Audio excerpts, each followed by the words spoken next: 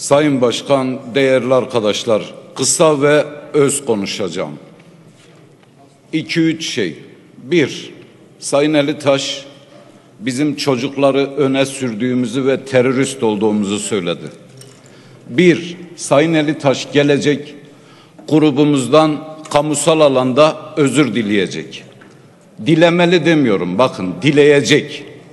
İki, kendisinin bakanı, başbakanı, cumhurbaşkanı onun bu değerlendirmesini taşımıyor olsa gerek. Biz gittiğimiz her yerde terörist olarak değil, seçkin, saygın, demokrat, halk temsilcileri olarak muamele görüyoruz. Bu sözü bize değil, başbakanına sorsun. Sen bu teröristlerle niye görüşüyorsun diye. Ona göre de haysiyetli bir tavır belirlemesini diliyoruz. İki. Üç.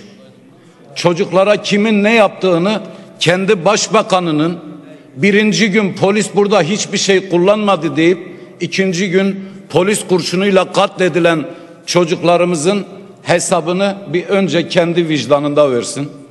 Son olarak bir daha hiçbir vekiliniz, hiçbir vekilimize başta kadın arkadaşlarımız olmak üzere bu bir erkek egemen söylem değildir. Bu bir yoldaşlık söylemidir.